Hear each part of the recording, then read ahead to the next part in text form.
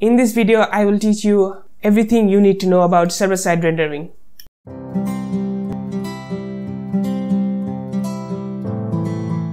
Now, in case if you don't know me, my name is Anjan. I'm a full stack web developer and also blogger and instructor of this channel where I teach full stack web development, data structure algorithms, and many more. So hit the subscribe button so that you don't miss any of this cool stuff. So what are we going to learn today? What is server-side rendering? How does it work? Pros and cons of server-side rendering? When should you use server-side rendering? So what is server-side rendering? Server-side rendering is the common and traditional rendering system. It is also known as multi-page application.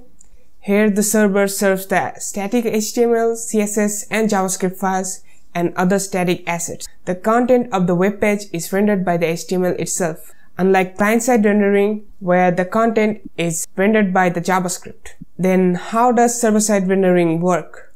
Abstractly, there are two entities on the internet. One is client, another one is server. Now what is client? Client simply means the user or more precisely it's the browser maybe or it could be a mobile application. First, the client sends a request to the server. The server then check the request and then send HTML file as response for the requested page. Browser starts parsing the HTML file from top to bottom.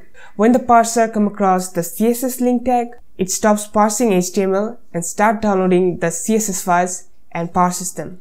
After the CSS parsing is done, it starts parsing the HTML again. While the HTML getting parsed, browser starts painting the DOM with content and styles. Because the CSS is already downloaded and parsed, that's why we can show our user the not only the content, but also with styles and that makes our user experience better. When parser come across the JavaScript script tag, it stopped parsing again and start downloading the JavaScript and parses the JavaScript. Then the browser executes the JavaScript and the web page become both viewable and interactable.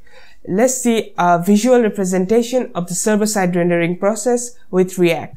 First, the server sends the ready to be rendered HTML as response to the browser. Ready to be rendered means the content is already present on the HTML file. Then the browser parses them and renders the page. Now the web page become viewable and browser starts downloading the JavaScript. Then the browser executes React and React simply is JavaScript. And now the page become interactable. And that's how it ends the process. Alright, let's see some pros and cons of server-side rendering. First, great SEO. Because the content is already present on HTML, that's why server-side rendering application has far more better SEO than the client-side rendering applications. When the user visit the URL for the first time, the server does not need to send all the application data to the client as response. It only need to send requested web page data. So server need to send less data and also browser need to parse less data. And that makes initial load faster in server-side rendering. It is great for static sites. User doesn't have to see blank page on initial load like I said before, in server-side rendering, content of the web page is rendered by the HTML, not by JavaScript. The content is already present on the HTML, so we don't have to wait for JavaScript to load in order to show the content to the user. That's why the user will not gonna see the blank page flickering that we have in client-side rendering. No need of external libraries or frameworks. You can do it with plain HTML, CSS, and JavaScript.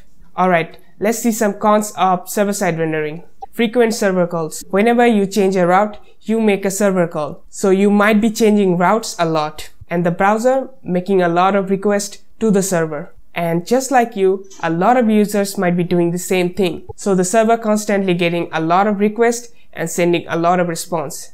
And that's how the server gets heavy load.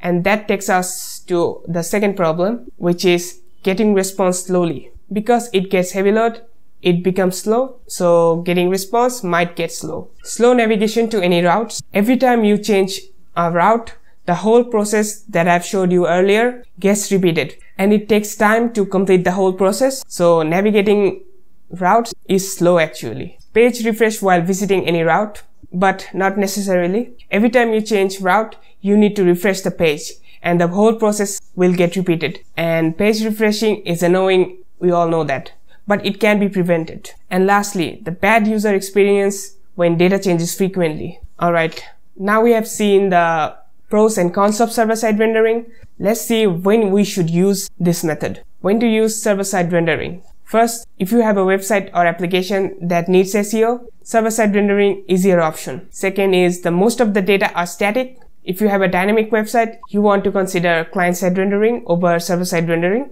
Also, faster initial load. If you don't want your user to wait a long time on their first load, then you would like to use server-side rendering.